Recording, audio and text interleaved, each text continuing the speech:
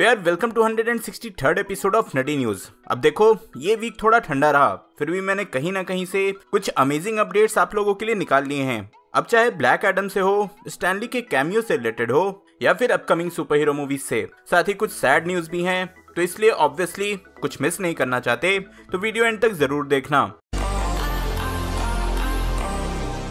अब स्टार्ट करते हैं वॉटिफ से। तो वॉटिफ का first trailer officially last week release कर दिया गया था। एंड इसके बाद ही इसको लेकर बहुत सारे अपडेट्स आ रहे थे। सबसे पहला मेजर अपडेट ये रहा कि इनिशियली ये रिपोर्ट किया गया था कि सारे ओरिजिनल एक्टर इसमें वॉइस डबिंग करेंगे। लेकिन अब रिवील हुआ है कि ऐसा नहीं है। कुछ कुछ एक्टर्स हैं जो कि अपने रोल में रिटर्न नहीं कर रहे हैं। सबसे पहले तो क्रिस एवेंस स्टीव रॉजर्स की आवाज़ नहीं दे रहे हैं। Robert Downey Junior Tony Stark की आवाज़ नहीं दे रहे हैं। और इन्हीं के साथ Brie Larson and Benedict Cumberbatch ये दोनों भी अपने कैरेक्टर्स के लिए डबिंग नहीं करने वाले हैं। और इनकी आवाज़ कोई दूसरे वॉइस एक्टर देंगे वैसे इन चार पाँच एक्टर्स को छोड़ दें तो सारे ओरिजिनल एक्टर्स रिटर्न किए हैं डबिंग करने के लिए जिसमें सबसे ज़्यादा इम्पैक्टफुल रहेगा चैडविक बोजमैन की आवाज़ ये उनकी हॉलीवुड में सबसे लास्ट प्रोजेक्ट होने वाली है फिर हाँ सेबेस्टियन स्टैन ने एक फनी वीडियो शेयर किया अपने बकी के कैरेक्टर की डबिंग करते हुए Right, I'm frustrated. I'm frustrated and I'm annoyed. I'm gonna get you. I'm gonna get you. I'm gonna get you. Uh, uh, fuck! Uh, uh. Then trailer के release के कुछ देर बाद ही इसका ऑफिशियल पोस्टर रिलीज़ किया गया। और इस official poster में रिवील हुआ कि यहाँ स्पाइडरमैन डॉक्टर स्ट्रेंज के क्लोक के साथ है। तो हाँ यार, ये वॉट इफ़ है? इसमें कुछ भी हो सकता है। फिर ऐसे भी हिंट मिले हैं कि क्लार्क ग्रेग जो कि एमसीयू में फिल कॉल्सन का रोल करते थे, वो भी इस शो में डबिंग के लिए रिटर्न कर रहे हैं। और हाँ ऐसे भी रिपोर्ट्स आए हैं कि ये मार्वल स्टूडियोज की फ़र्स्ट ऑफिशियल शो तो होगी। लेकिन लास्ट नहीं, इसके बाद भी कुछ और एनिमेटेड शोज़ आएँगे। चलो आगे बढ़ते हैं ब्लैक विडो पे, क्योंकि पिछले थर्सडे को ही इसे यूएसए एंड वर्ल्ड के कुछ लोकेशन पे रिलीज़ कर दिया गया है। अभी इंडिया में रिलीज़ नहीं हुई है एंड जब तक थिएटर्स नहीं ओपन होंगे इंडिया में ये आएगी भी नहीं। मोस्ट प्रोबेबली डायरेक्ट ये हॉटस्टार पे ही रिलीज़ हो जाए। इफ़ थिएटर्स ओपन नहीं होते हैं तो। लेकिन हाँ यूएसए से इसका बॉक्स ऑफ़िस कलेक्शन ज़रूर आ गया है। और थर्सडे नाइट को रिलीज़ के बाद ही इस मूवी ने 13.2 मिलियंस का कलेक्शन कर लिया है। पैंडेमिक के बाद ओपनिंग डे पे सबसे ज़्यादा। वैसे अभी जब मैं वीडियो बना रहा हूँ तो इसका डोमेस्टिक बॉक्स ऑफ़िस कलेक्शन है थर्टी मिलियंस फिर ब्लैक विडो के स्क्रीन राइटर एरिक पियर्सन ने यह भी रिवील किया कि उन्होंने इस मूवी को सिर्फ़ 11 डेज़ में लिख दिया था। तो हाँ मूवी के स्क्रिप्ट को लिखने के लिए ये कुछ ज़्यादा ही फास्ट हो गया। अक्षय कुमार की मूवी से भी ज़्यादा फास्ट चलो, आगे बढ़ते हैं। सुसाइड स्क्वाड और पीस मेकर पे। तो पीस मेकर के सेट से ये फ़ोटो सामने आया है, जहाँ हम John Cena and James Gunn को साथ में देख सकते हैं। वैसे इस सीरीज़ की शूटिंग अभी तक पूरी तरह से कंप्लीट हो चुकी होगी, क्योंकि लास्ट वीक ही अपडेट आए थे कि इसकी बस एक वीक की शूटिंग बची है। देन जेम्स गन ने ट्विटर पे सुसाइड स्क्वाड का नया पोस्टर रिलीज़ किया, और इसी के साथ ये कंफर्म किया कि ये यूएसए में बाकी कंट्रीज़ से एक दिन पहले रिलीज़ कर दिया जाएगा। यूएसए में ये अगस्त 5 को रिलीज़ हो रही है, और world wide next day six को। और हाँ ये मूवी एच मैक्स पे भी रिलीज़ होगी तो मोस्ट प्रोबेबली इंडिया में बुक माई शो के थ्रू आए। तो लेट सी क्या होता है। अब जेम्स गन की बात हो ही रही है तो एक फ़ैन ने ट्विटर पे उनसे पूछा कि क्या ड्रैक्स कभी एमसीयू में अपने कॉमिक्स वाले इस लुक में दिखेगा या नहीं? जिसपे जेम्स गन ने मज़ाक मज़ाक में बोला कि ये तो डेव बटिस्टा डेली पहनते हैं।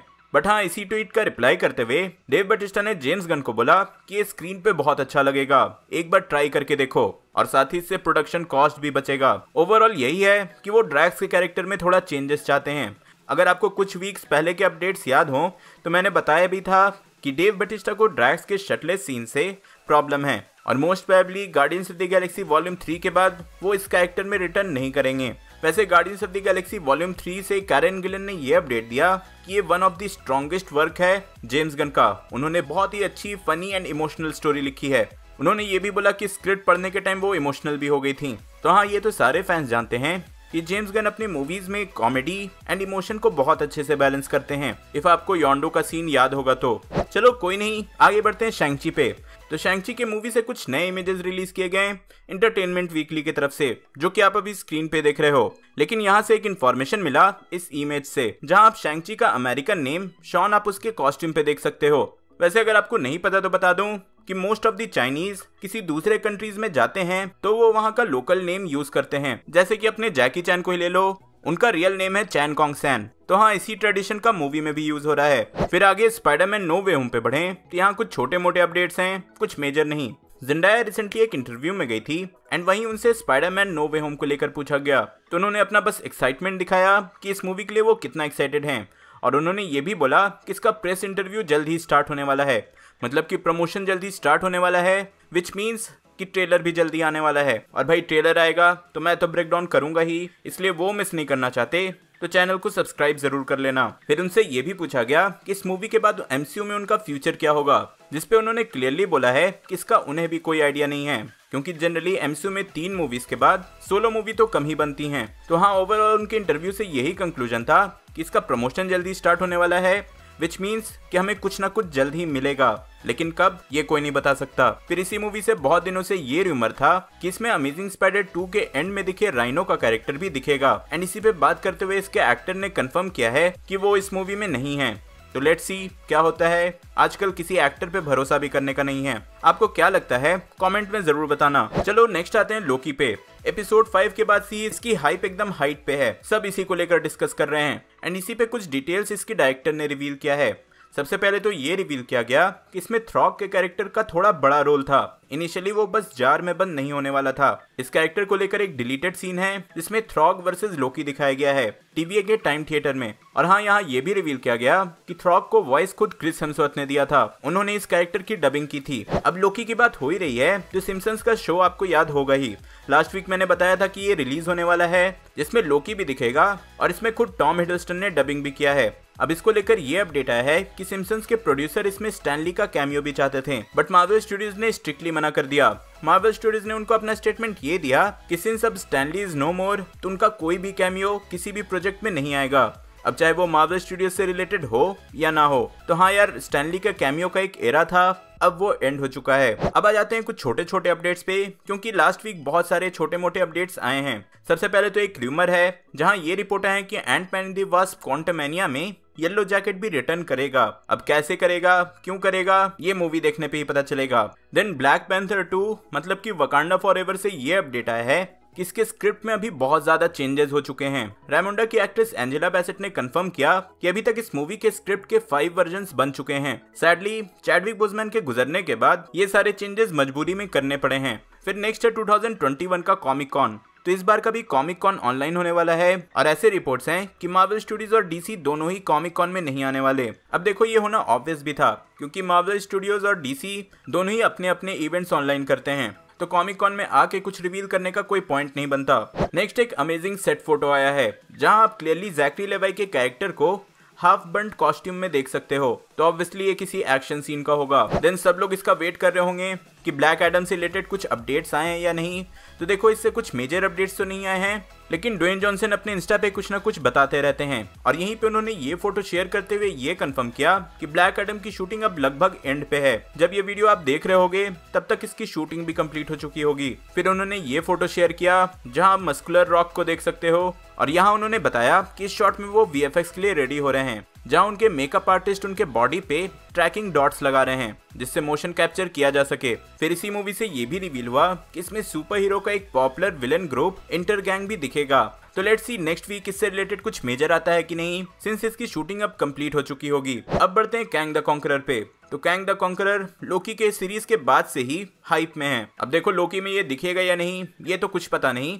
लेकिन एंटमैन इन दी वास्ट में ये दिखने वाला है। और इसी के एक्टर जोनाथन मेजर्स को एक कॉमिक बुक शॉप में स्पॉट किया गया, जहाँ वो कैंग की कॉमिक्स ले रहे थे। तो एक फ़ैन ने उनकी ये फ़ोटो भी ले ली। तो हाँ भाई, अपने रोल को प्ले करने से पहले वो अपने कैरेक्टर को स्टडी कर रहे हैं। नेक्स्ट फिर मार्वल स्टूडियो से ये अपडेट आया कि वो अब से किसी भी एक्टर को मेगा डील नहीं देंगे। मतलब कि एक ही बार में जो वो नौ दस मूवी का डील साइन कर लेते थे किसी एक्टर के साथ, वैसा अब नहीं होने वाला। For example Chris Evans Nick Fury इन सारे एक्टर्स के साथ एक ही बार में नाइन मूवीज़ की डील की गई थी। लेकिन अब फ़ेज़ फोर से ऐसा नहीं है। सारे एक्टर्स के साथ दो या तीन मूवी की डील एक बार में होती है एंड फ्यूचर में सब कुछ सही रहा तो वो कॉन्ट्रैक्ट एक्सटेंड कर दिया जाएगा। फिर शी हल्क के सीरीज़ से माइनर अपडेट है।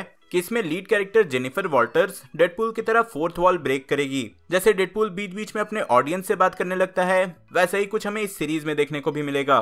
फिर इसके बाद आयन हार्ट का वर्किंग टाइटल रिवील हो गया, जो है वाइस गाई और इसकी प्रोडक्शन भी अब जल्दी स्टार्ट होने को है। आगे बढ़े तो पर्सनली मेरे लिए ये सबसे मेजर अपडेट होगा, इस वीक का।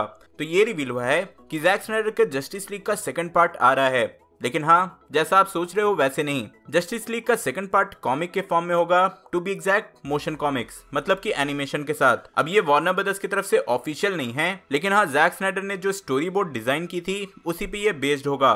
तो हाँ जैक स्नाइडर का जो विजन था, जो उनका स्नाइडर वर्स का अप्रोच था, वही सेम अप्रोच इस कॉमिक्स में हमें देखने को मिलेगा। और हाँ ये फ़ैन मेड होगी और चैरिटी के लिए होगी। होप सो कि यार हमें किसी दिन मूवी देखने को भी मिल जाए। देन डीसी से एक और रिपोर्ट है कि एक्टर जेके सिमॉन्स जो कि कमिश्नर गॉर्डन का रोल प्ले करते हैं, उनको एच बी मैक्स की मूवी बैड गर्ल में रिकास्ट किया जा रहा है। मतलब कि वो इस मूवी में कमिश्नर गॉर्डन के रोल में नहीं दिखेंगे।